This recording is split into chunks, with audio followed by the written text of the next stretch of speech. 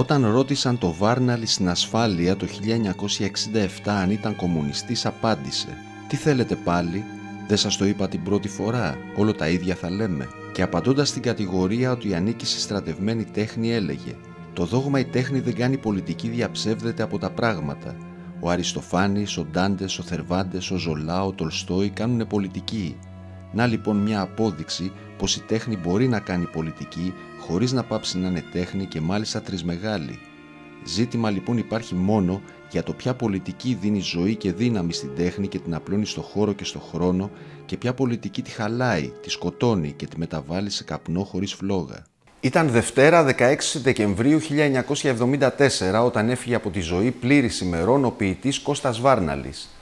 Το απόγευμα εκείνης της ημέρας, σε μια εκδήλωση που είχε γίνει στο κατάμεστο θέατρο Αλίκη, είχε τιμηθεί με μετάλλιο από την Ένωση Συντακτών Ημερησίων Εφημερίδων Αθηνών, της οποίας ήταν και το παλιότερο μέλος.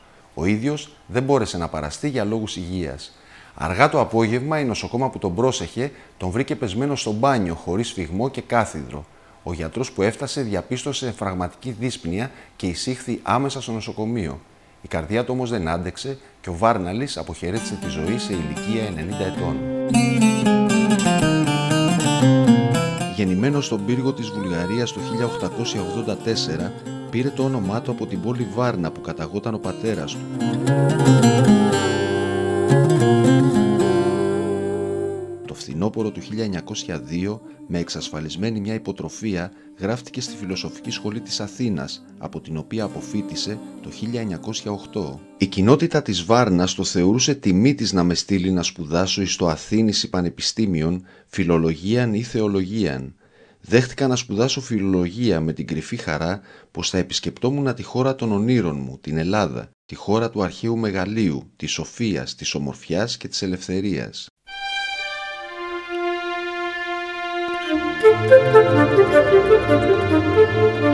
Όταν αποφύτησε από τη φιλοσοφική σχολή διορίστηκε καθηγητής στη μέση εκπαίδευση την οποία υπηρέτησε 10 χρόνια.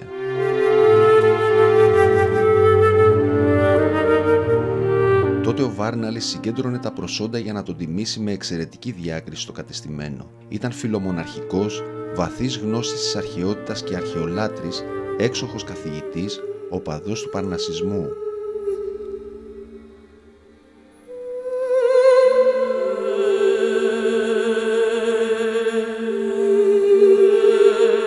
Όμως ήταν και πνεύμα ανήσυχο. Υποστήριξε τους δημοτικιστές και συμμετείχε στα λεγόμενα αθεϊκά του Βόλου το 1910. Αυτά τα γεγονότα ξεκίνησαν από την αντίδραση στο ανώτερο παρθεναγωγείο του Βόλου, το οποίο κατηγορούνταν ως άντρο ανηθικότητας και κέντρο των δημοτικιστών που θεωρούνταν εχθροί της θρησκείας. Εκτός από το Παρθεναγωγείο, οι αρχές έκλεισαν το εργατικό κέντρο Βόλου, ενώ διώχτηκαν ποινικά για αθεισμό 21 άτομα.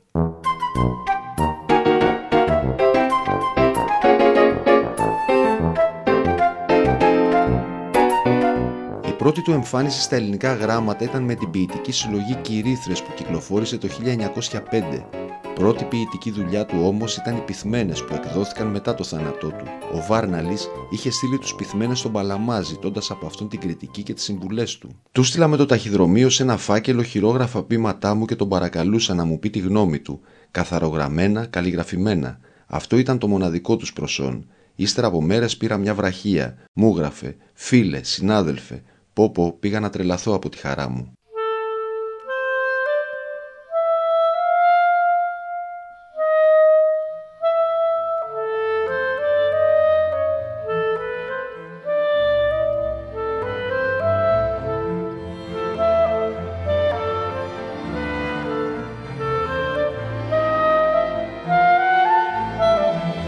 Με τους Βαλκανικούς πολέμους ο Βάρναλης επιστρατεύτηκε. Το Σεπτέμβριο του 1912 η ελληνική ζωή τραντάχτηκε από τα θεμέλια της. Η ζωή της καθημερινής ρουτίνας με τις μικρομιζέριες της, με το πολιτικό κουτσομπολιό των εφημερίδων και της Βουλής, με το γλωσσικό και το σταφιδικό ζήτημα, τεινάχτηκε απάνω σοβαρή και επίσημη και πήρε ορμές και πόζες ηρωικές. Η ψωροκόστενα πέταξε τα κουρέλια της και την ασκήμια των πρώιμων γυρατιών της και μεταμορφώθηκε ξαφνικά σε πολεμόχαρη Αθηνά, νέα και ωραία και σοφή γενική επιστράτευση ενάντια στους προαιώνιους εχθρούς.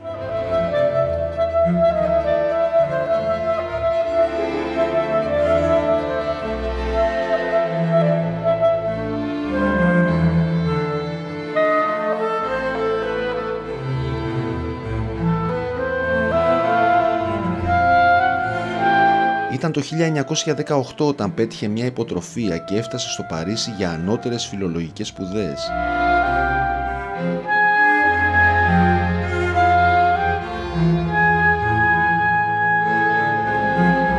Εκεί είδα από κοντά τις πληγές που άνοιξε ο πρώτος παγκόσμιος πόλεμος, αφού η πόλη είχε δοκιμάσει άγρια τη βαρβαρότητά του.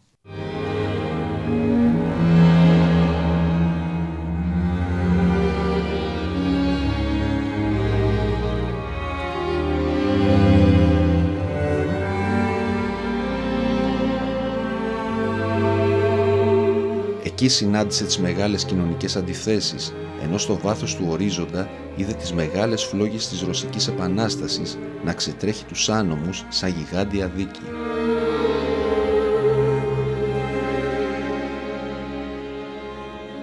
Τα δύο γεγονότα φώτισαν την καρδιά και το μυαλό του Βάρναλη που από καιρό βρισκόταν σε ανταρσία.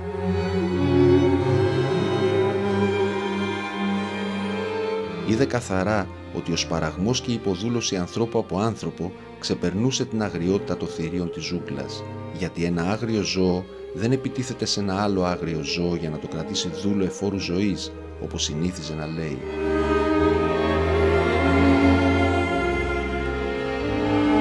Αυτές οι σκέψεις συγκρούστηκαν με τον παλιό του εαυτό και από τη σύγκρουση αυτή όλοι οι παλιοί ποιητικοί ρυθμοί ανατράπηκαν μέσα του.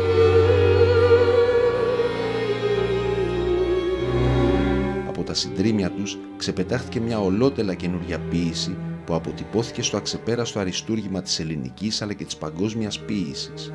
Το φως που καίει και μέσα από το φως που καίει σαν φλόγα του ο σαλπικτής των επαναστατημένων λαών, ο οδηγητής. Δεν είμαι εγώ σπορά της τύχης, ο πλαστουργός της νιας ζωής.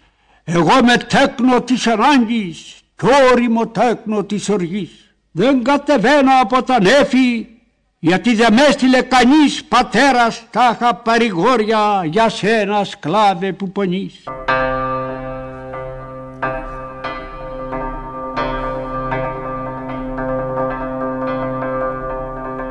Το φως που καίει είναι το αισθητικό ντοκουμέντο των αρχών του οργανωμένου εργατικού κινήματος στην Ελλάδα.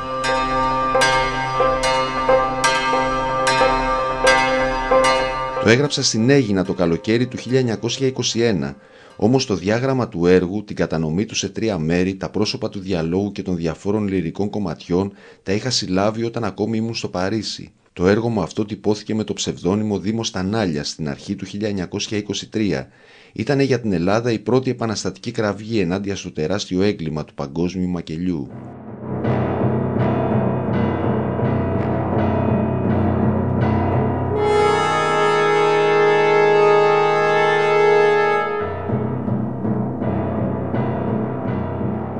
Τίποτα δεν άφησε όρθιος σε εκείνο το ποίημα η πένα του Βάρναλη.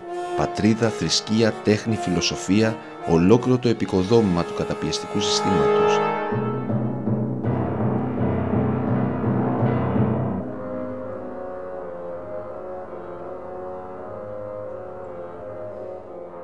Για να αποκαλύψει και να δείξει τη σχέση ανάμεσα στην εξουσία και στη θρησκεία, στη φιλοσοφία και την τέχνη, ο Βάρναλης χρησιμοποιεί τον Ιησού, τον Προμηθέα και την Αριστεία, μια μαϊμού που συμβολίζει την τέχνη, μια θέησα αντάμα με ένα ζώο όπως λέει στο ποίημα. Θέησα είναι η αστική τέχνη και ζώο η βαρβαρότητα του καπιταλισμού και των πολέμων του.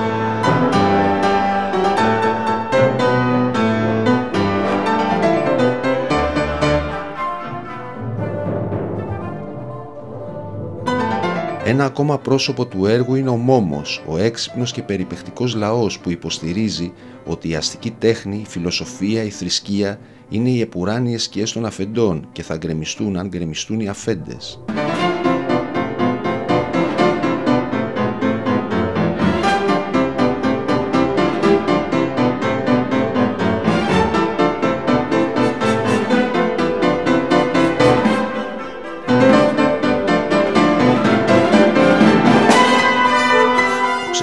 Χαρακτήρισε το φως που καίει σταθμός στα ελληνικά γράμματα, ενώ ο ίδιος ο ποιητής μάλλον αρχή.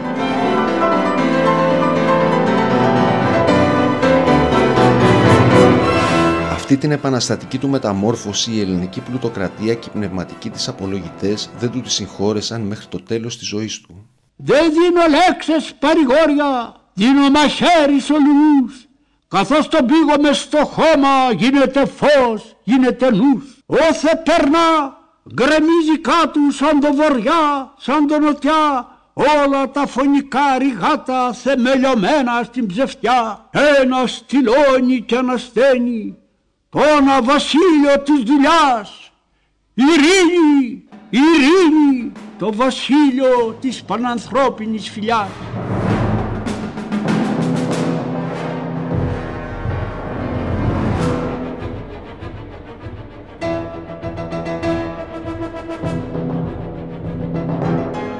1926 δημοσιεύτηκαν δύο από τα μεγαλύτερα έργα της παγκόσμιας λογοτεχνίας και ποίησης.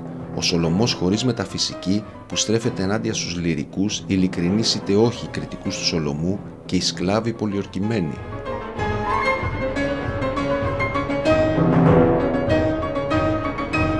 Με το έργο του αυτό αναλαμβάνει να ερμηνεύσει τη ζωή ρεαλιστικά, δηλαδή όπως είναι, με τις ασχήμιες της, τους φόβους, τις πλάνες, τις ανθρώπινες αδυναμίες.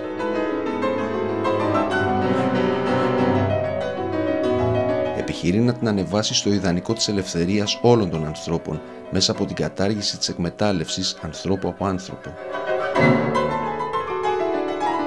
Πάλι μεθυσμένος είσαι, δυόμιση ώρα της νυχτός κι αν τα γόνατά σου τρέμαν εκρατιώσουν αστιτός μπρος σε κάθε τραπεζάκι. Γεια σου Κωνσταντή Βαρβάτε.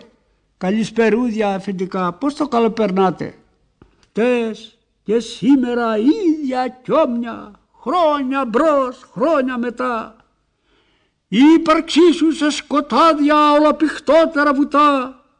Τάχα η θέληση σου λίγη, τάχα ο πόνος σου μεγάλος.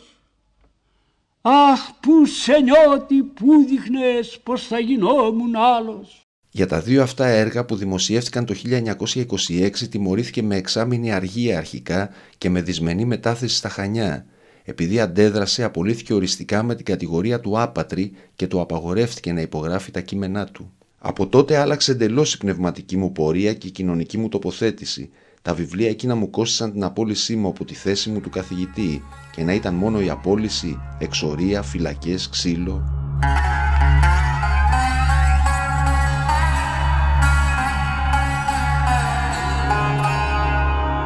1931 ήταν η χρονιά που δημοσιεύτηκε η αληθινή απολογία του Σοκράτη σαν ένα είδος διαμαρτυρίας ενάντια, όπως λέει και ο ίδιος, στην τοτεσινή δημοκρατία του Ιδιονύμου, του Καλπακίου και των διαφόρων στρατιωτικών κινημάτων.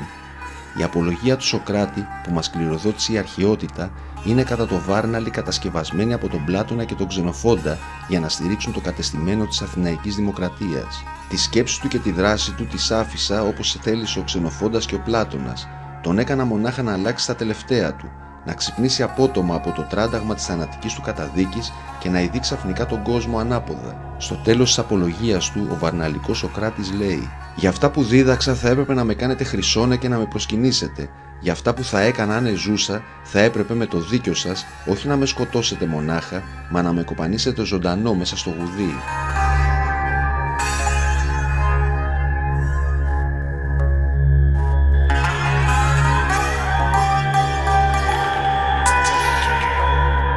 Αυτά που θα έκανε ήταν ο ξεσηκωμός δούλων και ελεύθερων για την ανατροπή της δουλοκτητικής δημοκρατίας.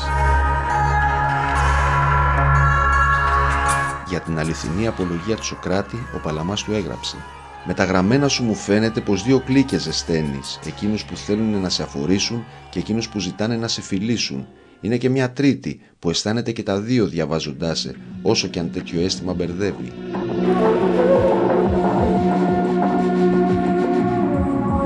Το 1934 με το Γλινό πήρε μέρος στο συνέδριο Σοβιετικών Συγγραφέων στη Μόσχα.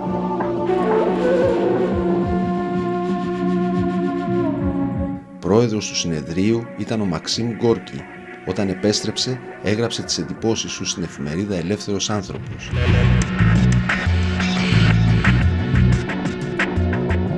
Για όλα αυτά ο Βάρναλης εξορίστηκε το 1935 στον Άι Στράτη και στη συνέχεια στη Μυτιλίνη, μετά την απελευθέρωσή του για να εξασφαλίσει την επιβίωσή του δούλεψε στο ριζοσπάστη.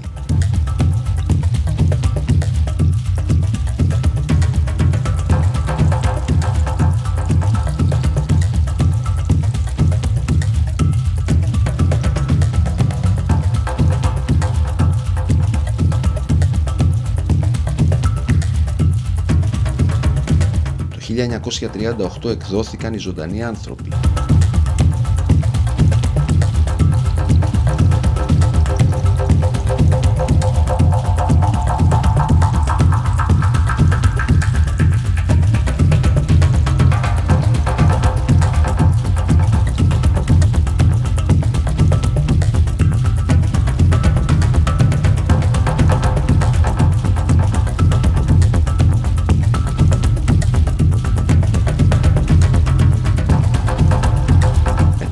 Απελευθέρωση και μέχρι το 1947 ο Βάρναλης συνεργάστηκε με τον νόμιμο ριζοσπάστη.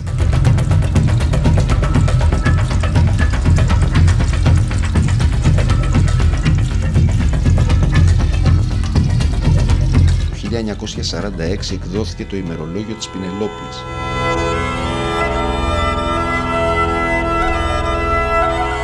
1956 εκδόθηκαν οι δικτάτορες και η επιλογή από το μέχρι τότε ποιητικό έργο υπό το γενικό τίτλο «Ποιητικά». Το 1958 βγήκαν σε δύο τόμους τα αισθητικά κριτικά και το 1959 ο ποιητής βραβεύτηκε στη Μόσχα με το βραβείο Λένιν για τους αγώνες και το έργο του υπέρ της ειρήνης.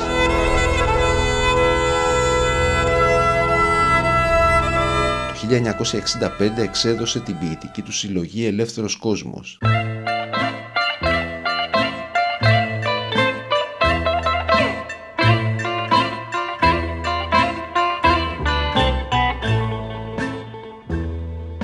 1967 συνελήφθη από τη Χούντα. Για την ταβέρνα με σε καπνούς και σε βρισιές απάνω Το 1972 εκδόθηκε το θεατρικό του έργο «Άταλος ο Τρίτος», ο βασιλιάς που χάρισε το βασίλειό του για να φύγει για Θεός σε νησί Τρανό. απάνω στρίκλιζε η λατέρνα όλη παρέα πίναμε ψες Μετά το θάνατό του εκδόθηκε η τελευταία του ποιητική συλλογή γραμμένη στα χρόνια της Χούντας με αντιδικτατορικά ποίηματα ενώ το 1980 εκδόθηκαν για πρώτη φορά σε βιβλίο τα φιλολογικά απομνημονεύματα.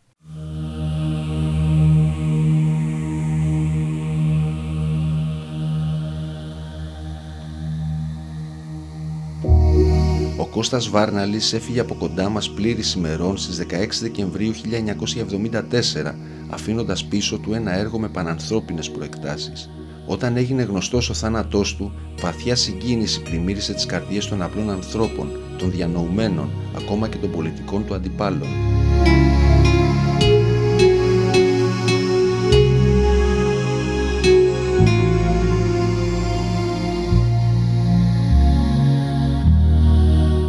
Στο τηλεγράφημά της προς τη σύζυγό του Δώρα Μοάτσου Βάρναλη και την κόρη του Ελένη, η Κεντρική Επιτροπή του ΚΚΕ έλεγε Εκφράζουμε τη βαθύτατη θλίψη μας και τα πιο ειλικρινή συλληπιτήριά μας για το χαμό του Μεγάλου Βάρναλη.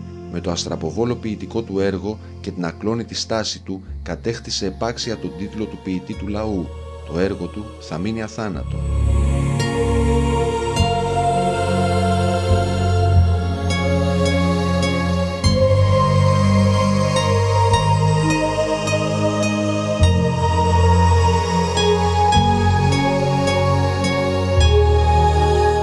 Η κηδεία του Κώστα Βάρναλη έγινε από το πρώτο νεκροταφείο στις 18 Δεκεμβρίου 1974.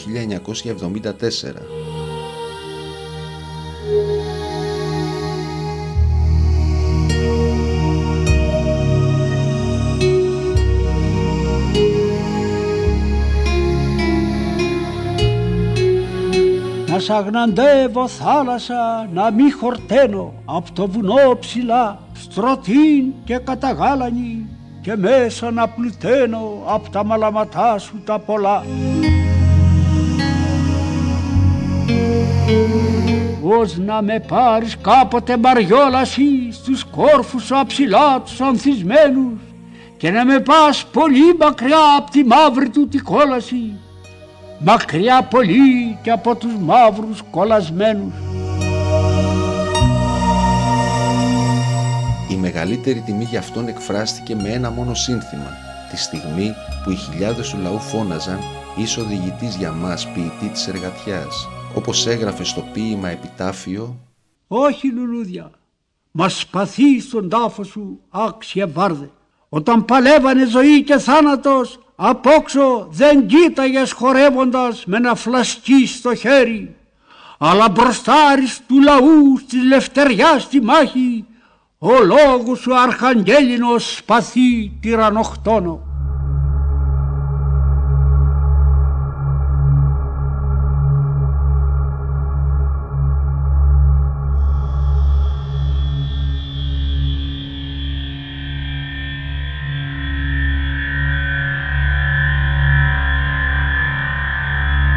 Ποίηση του Βάρναλ είναι δεμένη με τον 20ο αιώνα, όταν η ανθρωπότητα δοκίμασε να σπάσει τα δεσμά του καπιταλισμού και να ανέβει στο επίπεδο του ανθρώπου.